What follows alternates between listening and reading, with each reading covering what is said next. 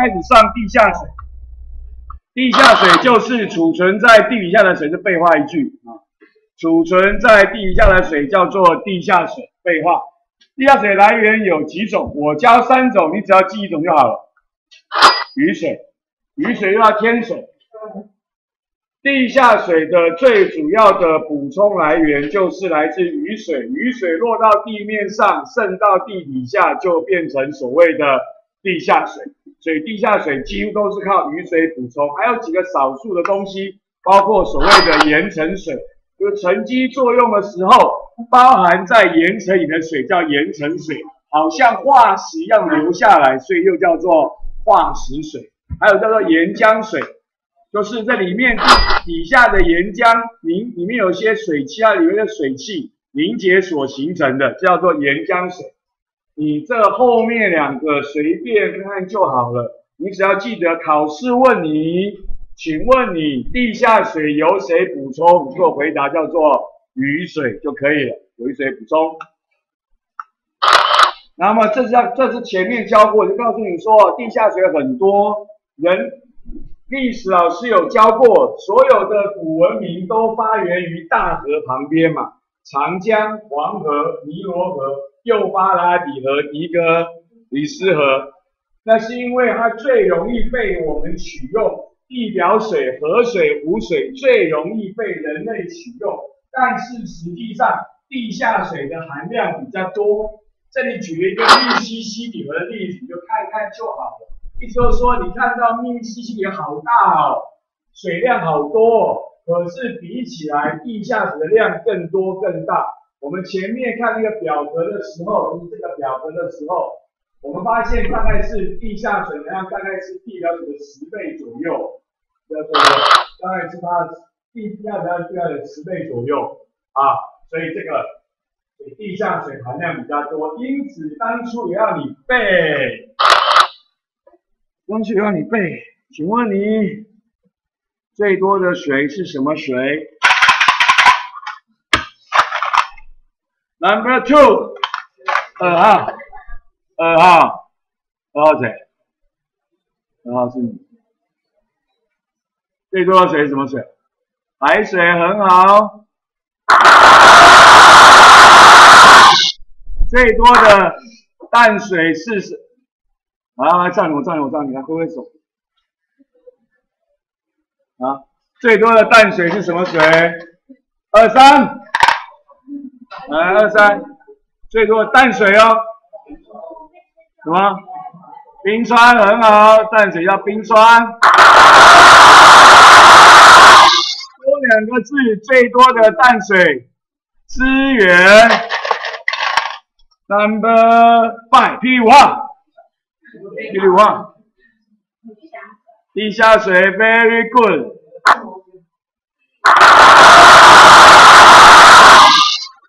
要背，请你把它背好。好，来，地下水是储存在岩石的孔隙中，康轩版有多写一个裂缝，但地底下因为压力很大，所以并不会有什么太大的裂缝，主要在岩石的孔隙。这句话什么意思啊？想象一下一块海绵。看起来是一块海绵，进到水里面拿起来还是一块海绵，可是里面已经装满了水，水在哪边？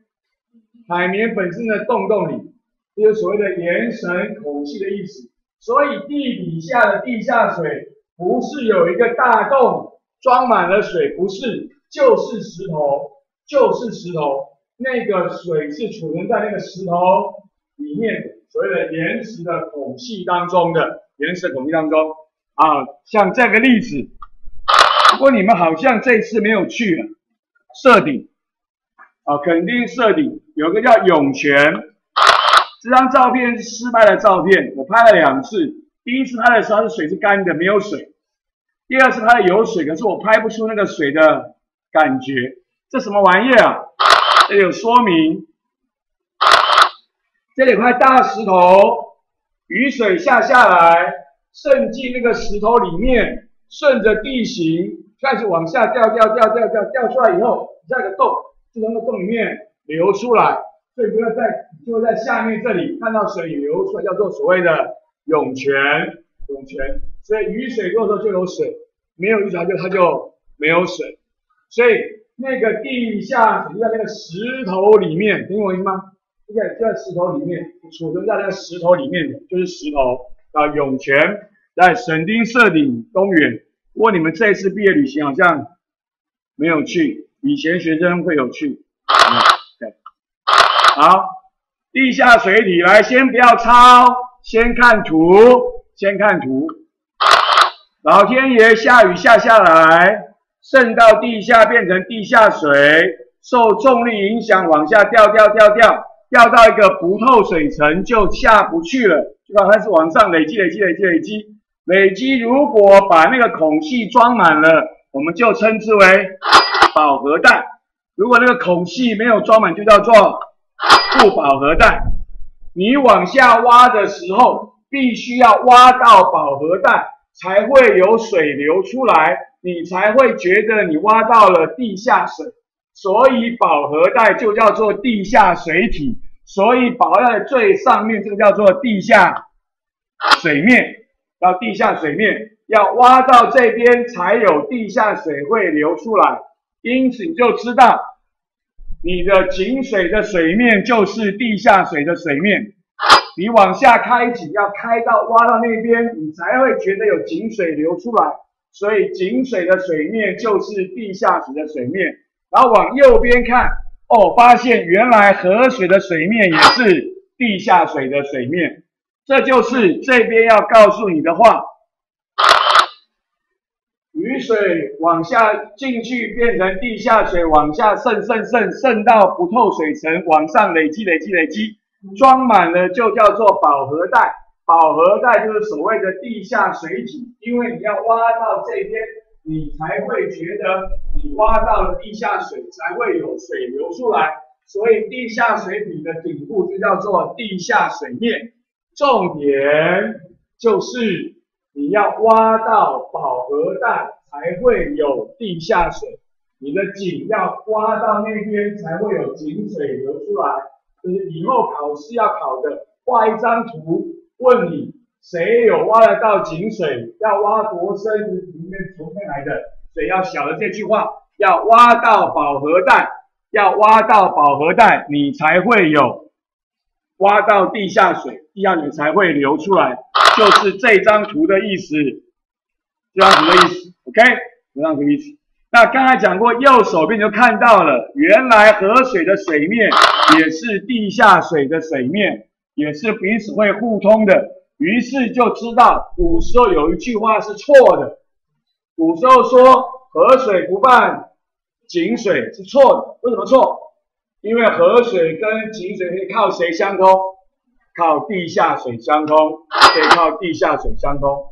如果现在老天爷不下雨，外面给的水少，地下水多，地下水就可以用来补充河水。如果是河水多，河水就可以用来补充地下水，所以井水，然后所以井水也是地下水，河水水面也是地下水水面，所以井水不犯河水是错的。这个图是跟你解释，这个图的图在跟你解释说，如果河水多，河水来补充地下水；如果地下水多，地下水多就可以来补充河水。所以很久没有下雨了，可是河水不见减少，为什么？因为会有地下水来补充它，地下水来补充它。好，泉水，当地下水面高出地面的时候，就会形成泉水。下面这张图不用理它，是我多画的，你只要看上面这张图就好了，只要看上面这张图就好啊。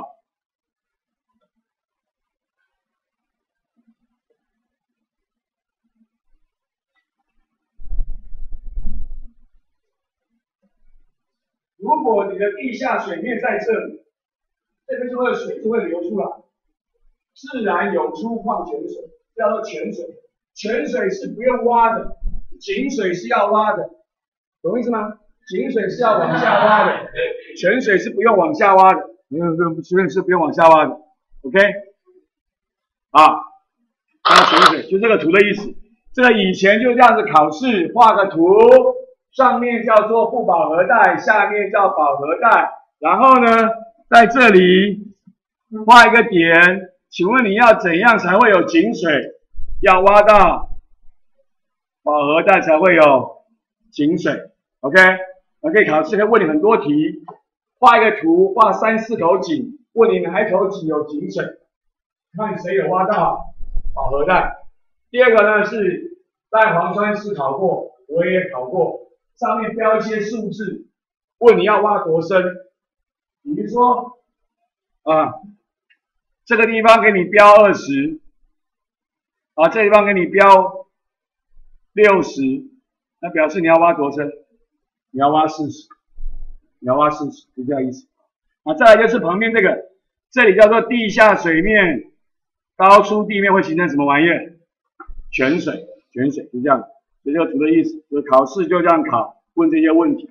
所以地下水面高出地面会形成泉水。请问有人有问题吧？无。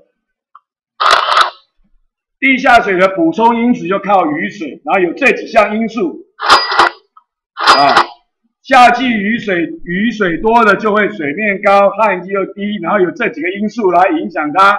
方方方方，这个考试考过，这个考试有考过，但是你就看一看，写一写，也不用特别背。因为很自然，你就会晓得了。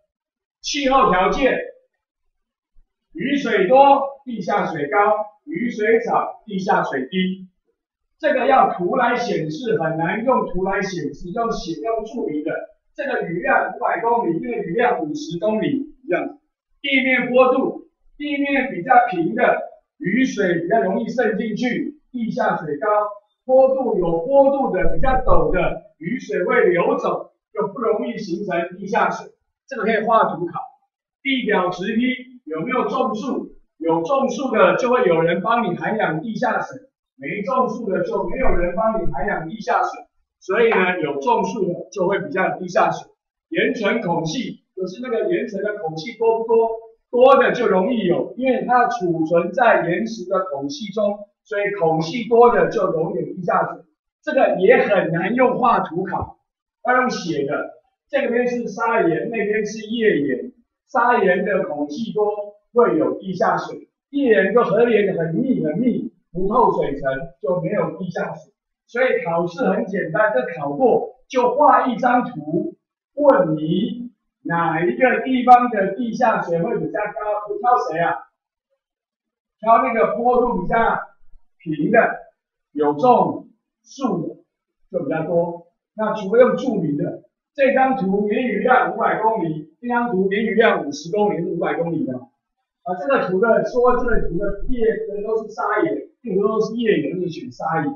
但是所以，但是这个气候条件跟岩层孔隙不容易单纯用画图考，还要注明的。但是其他两个都很简单。OK，嘉文，有人有问题吧？无，很好。